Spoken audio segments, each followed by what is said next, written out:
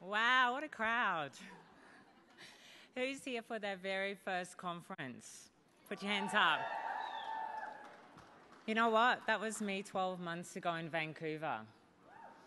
And I'm a member watching the Diamonds on stage, listening to their stories, and I thought, you know what? I want to be up on that stage. Can you relate? Who's feeling like that? Yeah? You know, listening to everybody's stories made me realize that they were all really amazing people. But you know what? They were just everyday, ordinary people, just like you and me. And I just knew that that meant that I could do it too. And that was so empowering. So I remember flying home. And um, I got on the plane, and I have to say, I actually didn't get to sleep a whole lot during the conference. So I fell asleep as soon as I hit the seat. And I remember waking up after a little while and my heart was racing, I was sweating, I was shaking, and I actually was dreaming that I was giving my diamond speech on stage. it felt so real, like every little bit of emotion that I'm feeling right now, I was feeling in that seat in the plane. Um, the only difference was my speech was in front of about 200 people, and here there's now over a thousand. So, but I just knew from that feeling that it was just a matter of time. Um, it was just going to happen. I just knew it. So I got home and I t- spoke to my husband, Michael, and I said to him, I said, you know what? This is our ticket to a better life. This is our ticket out. Um, Michael and I enjoyed our jobs. We loved our jobs. Um, but somehow we still felt really trapped and incomplete. You know, we were kind of working, um, living week to week, trying to make ends meet. I don't know if any of you can relate, but I'm sure you know what I'm talking about. Yeah? There's a few of you. I've got an opportunity for you, by the way. Um, but my background is a freelance hair and makeup artist, and my husband is a shift worker. So we, first of all, didn't get a lot of time together because we were passing ships in the night, but we also didn't have a lot of time for family and friends. And I remember Shannon Malnick. I know you're sitting right there, Shannon. One of the very first times I met you, she said, Lillian, I know you love being a makeup artist, but if you could be anywhere in the world with anyone doing anything you want to do, would you still go to work and do your job? Now, the enormity of this didn't actually hit me at that time until last Christmas, and I'll tell you a story of what happened. I'd actually started to replace some of my income, and my husband and I decided that we were going to take Christmas off. Now, that was a big deal because the industry that we were in, we worked every Christmas. So, this was one of the first Christmases in about 10 years we were going to be off. So, we're really looking forward to spending time with family and friends. And it was getting closer to Christmas, and I hadn't heard anything was happening. So, I remember ringing my mum, and I said, Mum, what's happening? And I realised at that time they'd actually forgotten to invite us. But you know, it wasn't because we weren't welcome. What actually hit me is that we'd actually conditioned them to just assume that we would always be at work because we would never attend any events. And that's when your quote hit me, Shannon, and it hit me in the core.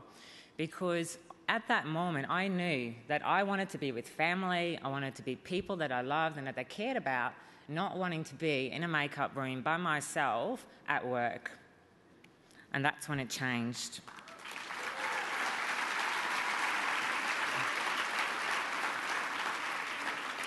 So I finally closed the back door on my job earlier this year. Um, it was really scary but liberating at the same time because a career that had served me so well now became my second title. And, um, but it was that time that I really started to take this opportunity seriously. And that's when things started to change. I actually stopped caring what people thought. You know, let's face it, we all have skeptics around us, right? Yeah, those people that are waiting for you to fail and then tell you, told you so, or waiting for those people to give you their advice. You know what I'm talking about? We all have got them, right? Now, I wasn't going to let them because I'd made it public that I'd closed the back door. I had to make sure that this was going to work. This was going to be it. Now, I have to be really honest. I actually started as a skeptic. Um, and for those of you that know my story, know it very well. But I got a call from Abigail Johnston. Um, Abigail's a very dear friend of mine and work colleague for almost 20 years. And she rang me up one day and she said, Lil, um, I've come across this mask. It's amazing. I really think you need to have a look at it. And she said, Lil, you've got to use it every single day. It's sold through network marketing, it's ground floor, it's new to Australia, and I don't want you to miss out. My mind switched off when she started telling me that I needed to use it every night. Now, me being the person and so busy that I am, I never even had time to paint my nails until now. Okay? So for me to do a mask and use it every day, it was just not going to happen. And then network marketing, I thought, you've got to be kidding me. So it was probably about eight or nine months later um, when Abigail and Jackie, another makeup artist that's here today as well, and myself, um, we actually work every year on a uh, international celebrity TV show. And um, what actually happened, the host walked in and she in- instantly noticed Abigail's skin and how it improved from the year before. So, needless to say, she needed to try it. About three days later, we had a knock on the door from the technical department, and they were basically saying like her skin was glowing, they'd never seen it look any better, and I was like, hmm, that must be that product. About a week later, though, the host actually walked in with her credit card. She said, Girls, can you order me a year's supply and have it to me in the next week before I fly home? Now, you need to understand talent get everything for nothing. She gives me her credit card to order a year's supply of this special mask. And I was, I'm missing out. So I said, Abby, we need to have a talk after work. so after hearing what she'd actually achieved, it was actually my husband that said, Why aren't you doing this? So, good question. But I still remember him leaning back in his chair and he said, Honey, she's going to do it with or without you. Now, it's up to you, and I'll support you whichever way you're going to go. But I just want to let you know now if she's going to take this all away, which I know she will, don't come to me and cry if you didn't give it a go.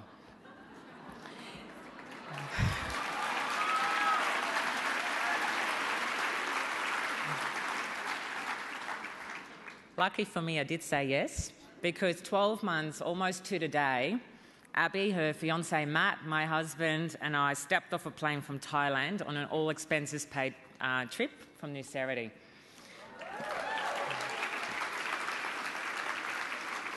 And it was actually when I walked off the plane, I actually stopped and it hit me.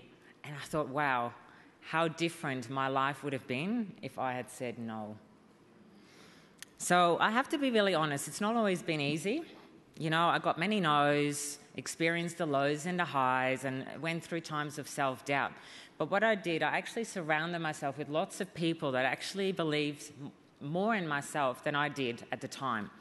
And looking back now, it's probably the best thing I could have done.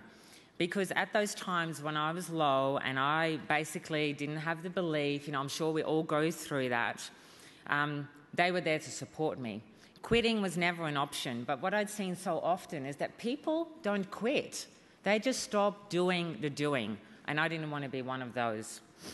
So every time I had this block, um, I actually found that it was some sort of personal development I had to work through in order for my business to move forward.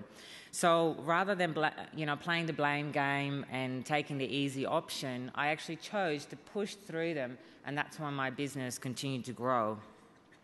Now, hitting diamond had actually shown me that this opportunity is literally for anyone that wants more out of life. Anyone that's done being done. If we can do it, so can all of you.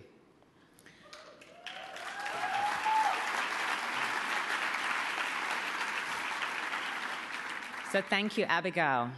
Thank you for introducing Michael and myself to this opportunity because thanks to you, Michael and I actually started dreaming again and are excited about what's ahead for the future. So, thank you.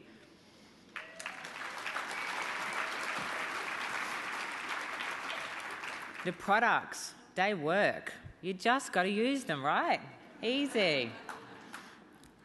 David, Lonnie, and Richard, you know, without you three amigos, none of this will be possible. So thank you for showing us how to create beautiful lives, not only for ourselves, but also to teach us how to pay it forward.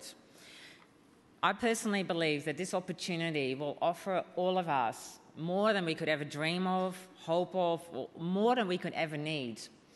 And for Michael and myself, this opportunity is actually something for us to be able to leave a legacy and also to be able to pay it forward people around us, no matter how big or small. So thank you. Thank you for teaching us um, a different way. Melissa, your support for us Australians is absolutely amazing. You are on call all the time. We don't have a head office in Australia, and Melissa is there for us without an absolute inch of a doubt. So thank you. Eva, Eva, you, you, your belief in all of us Aussies is absolutely unshakable, and I want to thank you for believing in me when I didn't believe I could do it. So thank you.